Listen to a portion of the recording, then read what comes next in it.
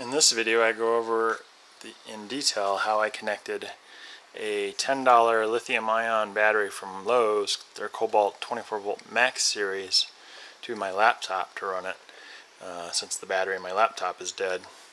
And if you want to see how that's done, watch the video. So I have this older Asus laptop and the battery in it's dying. And when I unplug it from the wall, it only lasts for 5 or 10 minutes on battery from the internal battery. And I looked on the Asus website and they don't sell the batteries for this laptop anymore because it's an older laptop. It's a great laptop, it works great. But um, anyways, there's um, non-OEM batteries available on Amazon and eBay. They're 20 bucks or whatever, but I don't trust those batteries since they're cheap Chinese knockoffs of the original battery. And I really don't want to burn my house down, so I'm going to make an adapter on the laser to run these Kobalt 24 volt max uh, lithium ion batteries. They're $10 batteries they sell at Lowe's for their lithium ion Kobalt tool sets.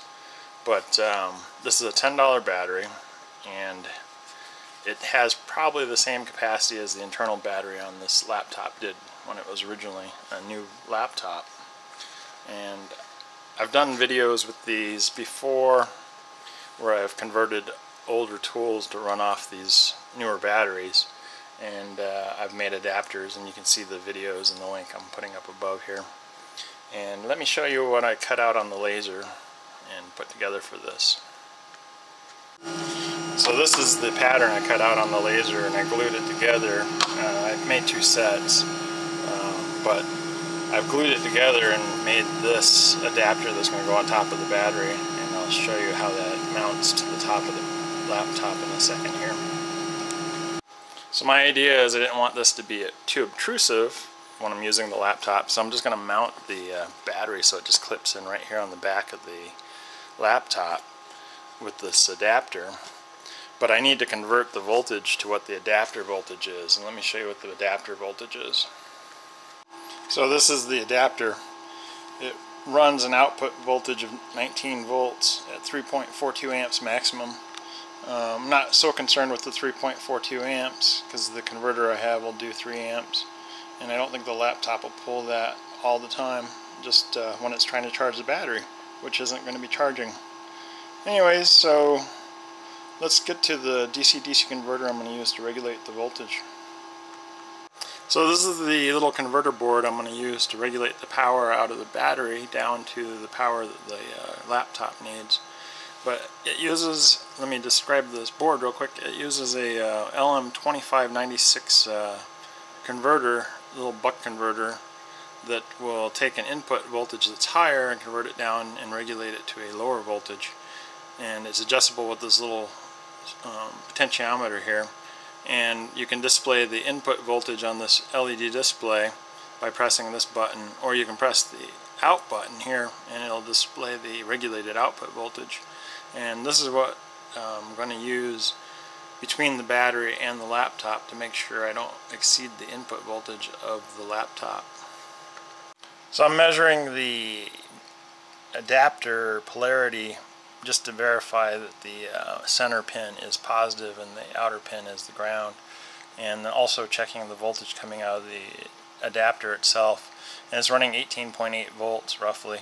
So we're gonna hook up the battery pack to the regulator the buck converter and then um, adjust it for this voltage. And what I have is a uh, old uh, adapter that I had in my junk box of a power supply that I had previously had on this laptop that died and uh, I cut the end of the cable off just to keep it in my junk, junk box just in case I needed it and here I need it.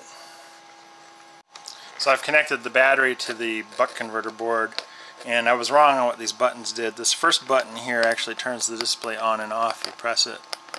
Um, the second button toggles between the input voltage which it has a little LED that says in here and the output voltage which has an LED there it says out so we click it there and right now it's sitting at 16.6 volts so let's adjust it for about 18 and a half volts so we can test it So I'm turning it clockwise to raise the voltage on it. And this um, meter that's on there, it's not super accurate. So you can double check it with a multimeter just to see. Let's see where we're at. This is the output voltage. Output. Hold on a second. Put the camera down. Hard to run the camera and put the probes where they need to go. Sorry about that. There's the probes, then see the 18.3 there, 18.5 there. So I'm going to go ahead and hook this up laptop. Well, first I'm going to verify the connector polarity before I hook it up to the laptop so I don't blow the laptop up. So let's do that next. Alright, so I've connected the connector to the um, power supply and I'm going to verify the polarity of the uh, connector here. So the center pin should be, I'm going to stick a probe in there. The center pin should be positive and the outer sh shield should be the ground and it's showing the correct reading. It's not negative. So the connector is correct. Let's try and hook this straight to the uh, laptop and see what it does.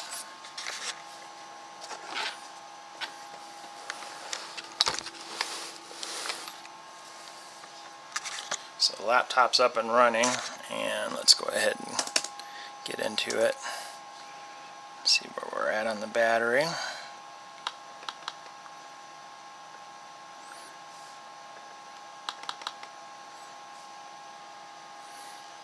Well, anyways, it's showing 96% remaining.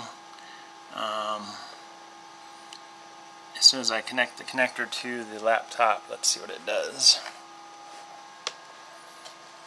Oh, look at that. It went into AC mode, entertainment mode, and it's showing it's charging. Oh, get some focus there.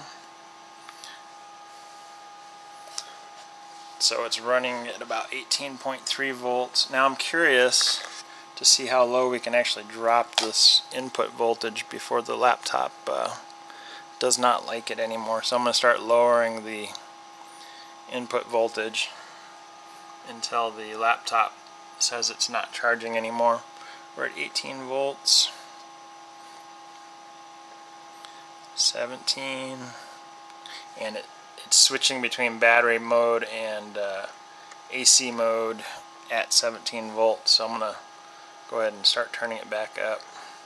See where it comes back online at. So right around 17 and a half volts.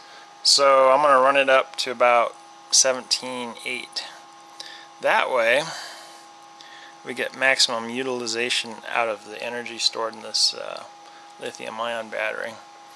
And then next thing I'm going to do is mount it to the back of the screen and what we're going to do is we're going to use command strips so that it just gets mounted to the back of the screen that way and it doesn't uh, affect the laptop.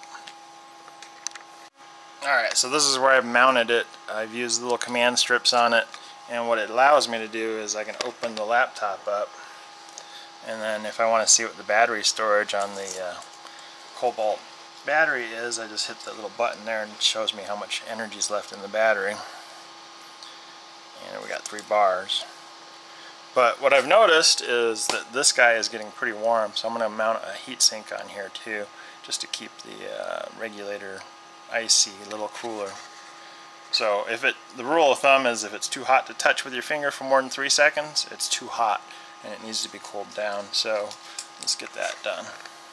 So I went ahead and mounted a little heat sink on here and I can touch it without burning my finger so it uh, seems to be doing its job and the laptop is running off of the battery pack from Lowe's, the $10 battery pack and I now have a usable laptop that I can take outside with me and it's not tethered to the wall anymore. So anyways, thanks for watching and if you liked the video please like it and if you haven't subscribed yet please go ahead and subscribe. I have more videos coming and I'll see you on the next video.